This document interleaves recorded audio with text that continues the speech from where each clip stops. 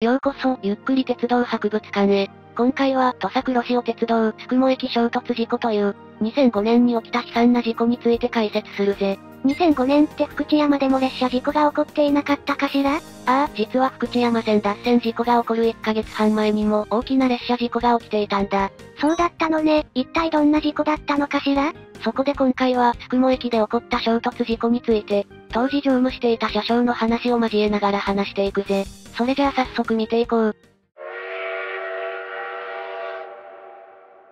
まずは、土佐黒潮鉄道について解説していこうか。土佐黒潮鉄道は、1986年5月8日に、高知県内で設立された鉄道会社だ。そして高知市や土佐市を走る JR 土山線の東西を担う鉄道会社として、1988年4月1日に営業を開始した。具体的にはどのエリアを走っているのかしら？路線図を見てみよう。まず高知市よりも東側にある、那覇里駅から五面駅までは、土佐黒潮鉄道の五面、那覇里線が通っている。次に五面駅から高知市を通り、久保川駅に到着するまでは、JR 四国の土佐線が走っている。そして久保川駅からさらに西側にある終点宿毛駅までは、土佐黒潮鉄道の四万十黒潮ラインが通っているんだ。本当に高知県の東側と西側だけに路線が伸びているわね。ああ、そして久保川駅から中村駅までの路線は中村線。中村駅から宿毛駅までの路線は宿毛線という愛称が付けられているぜ。相性っていいわね。土佐黒潮鉄道はどんな列車が走っているの？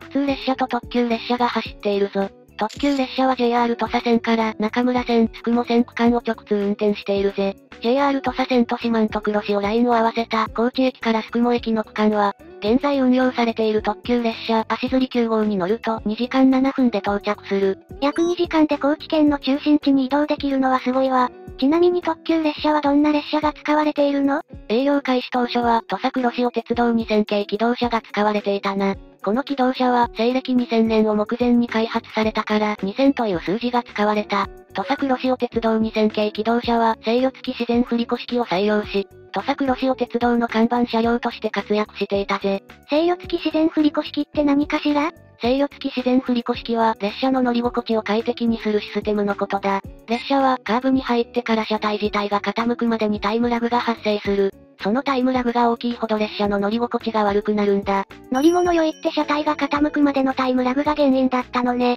そうなんだ。そこで開発者はカーブに差し掛かるタイミングであらかじめ車体を傾けておくという方法を採用した。これは自動列車停止装置 ATS を線路に設置し、車両の走行位置を把握することで実現できたんだな。な運転士の手動操作だと、人によって車体を傾けておくタイミングが変わってしまうものね。JR 四国が1989年に制御付き自然振り子式を世界で初めて採用し、そして翌年に土佐黒潮鉄道も JR 四国の後を追うように、制御付き自然振り子式を採用した土佐黒潮鉄道2000系機動車を運用し始めたんだな。列車の乗り心地が快適になれば乗客も増えるから、土佐黒潮鉄道は土佐黒潮鉄道2000系機動車に、とても期待していたでしょうね。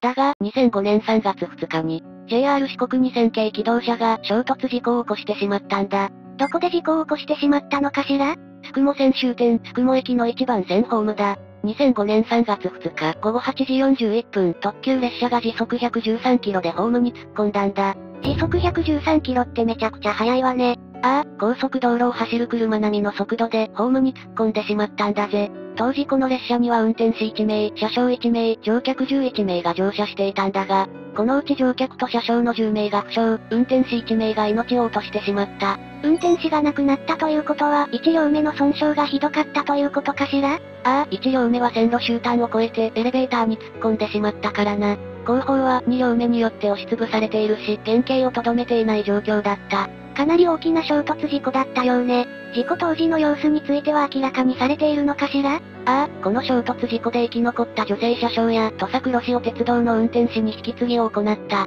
JR 四国の運転士が当時の様子を詳しく話しているぜ。この二人の証言を交えながら当時の様子を振り返ってみようか。お願いします。事故を起こしたのは岡山発宿毛駅行きの特急列車南風17号だ。南風17号は JR 四国2000系機動車で3両編成で使用されていた。東京や大阪とかの特急列車と比べるとコンパクトな列車なのね。そうだな、この列車は JR 四国土山線の高知駅を午後6時37分に出発し、午後7時47分に久保川駅に到着。久保川駅から終点宿毛駅までは管轄が JR 四国から土佐黒潮鉄道に変わるから、久保川駅で運転士と車掌が交代し、引き継ぎが行われた。高知駅から久保川駅までの間で問題は発生していないようね。ああ、土佐黒潮鉄道の女性車掌は JR 四国の車掌から異常なしと引き継ぎが行われている。また JR 四国の運転士も久保川駅へ到着するまでの間、ブレーキの効きが悪いとかのトラブルはなかったと証言している。久保川駅で土佐黒潮鉄道の運転士に引き継ぐときは非常ブレーキに異常がないかも確認済みだ。JR 四国の運転士は土佐黒潮鉄道の運転士とかを合わせたのよね？当時の運転士の様子に何か変わったことはなかったのかしら？しんどそうにしていたり、焦っていたりするような様子は見られなかったな。二人は面識があったから、土佐黒潮鉄道の運転士の様子の変化にはすぐ気づくだろう。確かに何年か働いていたら、車両を引き継ぐ時に何度か顔を合わせているでしょうね。その後、久保川駅を出発した南風17号は中村駅へ到着。列車が停止位置を通り過ぎてしまうオーバーランはなく、そのまま走行を続けた。ブレーキはきちんと作動していたし、運転士のブレーキ操作ミスもなかったということね。そういうことだ。眠気や考え事をしていたといった不注意もなく、安全に運転できていたようだ。そして中村駅を出発後、次の停車駅である平田駅に午後8時35分に到着。この時もオーバーランはなく、南風17号はそのまま終点宿毛駅へと向かった。そして特急列車は、聖ヶ丘トンネルに入るんだが、この辺りから問題が発生する。一体どんな問題が起こったのかしら？土佐黒潮鉄道によれば、通常平田駅を出た特急列車は、終点宿毛駅の約2キロ手前にある聖ヶ丘トンネルに入ると、時速118キロで走行し、下り坂になると時速113キロへと減速する。そしてトンネルを抜ける手前でブレーキをかけて少しずつ速度を落とすことになっている。だが事故当時はトンネルを抜けてもブレーキがかからなかったんだ。雲行きが怪しくなってきたわよ。ブレーキがかからなかったことに疑問を抱いた女性車掌だったが、いつものように宿毛駅到着の車内放送をしないといけないから、車内放送用の受話器を取りアナウンスを行った。その後女性車掌は列車が駅到着後、乗客がスムーズに列車から降りられるように、車両扉の操作スイッチの鍵を鍵穴に差し込み、開くの方へと回した。車掌はいつもの業務をこなしていたのね。ああ、そしてこの頃列車は最後の大きなカーブに差し掛かった。その時に列車が少し減速するような感覚があったから、女性車掌は運転士がうまいこと運転してカーブの衝撃を和らげているんだなと思った。だが実際にはブレーキはかかっていなかったんだ。カーブに入ったことで一時的に速度が落ちたように感じたのね。ああ、だがその後もいつまで経っても列車の速度が落ちない。一体運転士は何をしているんだ、と女性車掌が焦り出した頃に、列車はすでに宿毛駅のホームに差し掛かっていた。そして、ものすごい速さで流れる広告看板が目に入ったと思った途端、列車はホームに衝突してしまった。時速113キロも出ていたら疑問を感じてから事故発生までは一瞬の出来事だったでしょうね。そうだな。時速113キロで1番線ホームに突っ込んだ南風17号は線路終端の車止めを乗り越え、その先にあるエレベーターを破壊。その威力は駅舎の外壁からエレベーターが剥き出しになるほどだったぜ。駅舎の外壁がボロボロだわ。そして南風17号の1両目はエレベーターに突っ込んでしまったこと。そして2両目に押しつぶされたことで、歪に折れ曲がり、原型をとどめていない状況だった。写真を見てみると、1両目の前方部分がひどく損傷していることがわかるわね。2両目と3両目の損傷状況はどうだったのかしら ?1 両目ほどの損傷はなかったな。2両目は1両目と2両目をつなぐドアが左側に歪んだが、3両目はほぼ原型をとどめていた。南風17号の1両目は先頭部分に運転室を構え、1両目客室の前方半分にグリーン席、そして客室後方半分に指定席を設けている。事故当時、運転室には運転士が乗車していたが、1両目のグリーン席を利用した乗客が誰もいなかったこともあり、乗客全員無事に助かることができたんだぜ。1両目の先頭部分にいた運転士は命を落としてしまったけれど、グリーン席を利用する乗客がいたら、もっと被害が大きくなっていたでしょうね。衝突事故発生後、乗客はすぐに避難したのかしら？まずは3両目にいた女性車掌が列車内で乗客の安否を確認し、列車から降り、列車の無線機を使って運転指令所に緊急事態が発生したことを連絡しようとした。だが無線が使えなかったから、女性車掌は自分の携帯電話を使って、中村駅に事故が起こったことを報告したんだ。近くに助けを求めることができる社員はいなかったのかしら ?1 番線の隣にある2番線に普通列車が止まっていたが、運転士や車掌は見当たらなかったようだ。だが宿毛駅の近くにいた帰宅途中の社員が駆けつけてくれたぜ。そうなのね。でもどうやって事故が発生したことを知ったのかしら？衝撃音を聞いて駆けつけてくれたとか？高架下から見える南風17号の速度がおかしいことに気づいたからだそうだ。それで不安になって駆けつけたんだが、ホームに繋がる階段は階段の壁が剥がれ落ち、事故列車から漏れ出た軽油が溢れていて、その社員は階段を上がることができなかった。だが線路近くにある電柱を登って、なんとかホームに来てくれたんだな。電柱を登ってまで助けに来てくれたのね。その後、2番線の普通列車を担当する運転士も衝撃音を聞き、駆けつけてくれた。そして負傷している女性車掌の代わりに、1両目に取り残された乗客2名を救出したんだ。二人も駆けつけてくれてよかったわ。そして普通列車を担当する運転士は消防署員や運転指令所と話し合い、普通列車を使って負傷した乗客と女性車掌を安全に病院へ搬送することを決めた。南風17号に乗車していた乗客と女性車掌を乗せた普通列車は東宿雲駅へ向かい、重傷者を降車させた。その後平田駅で残りの軽傷者を降ろし、救急隊員に交代。普通列車を担当する運転士は、負傷者全員を無事病院の近くまで搬送することができたんだな。宿毛駅の階段は壁が剥がれ落ちたり、油が広がったりしていて、負傷者を安全に搬送することができないものね。渋滞に巻き込まれずスムーズに移動できる電車の利点を使った素晴らしい搬送方法だわ。ああ、そうだな。その後衝突事故が起こった宿毛駅は営業を停止。1ヶ月後の4月7日に普通列車が運転を再開したが、損傷した宿毛駅の駅舎をそのまま使うことができなかったから、宿毛線の終点を東宿毛駅にして、東宿毛駅からは宿毛駅行きの代行バスが運行された。宿毛駅の利用者だった人たちのために代行バスが運行されたのね。そして10月28日になると、宿毛駅舎の復旧工事が終了。11月1日からは事故発生前と同じように、普通列車と特急列車の運行が行われるようになった。悲惨な事故を起こしてしまったけれど、これで宿毛駅は完全復活ね。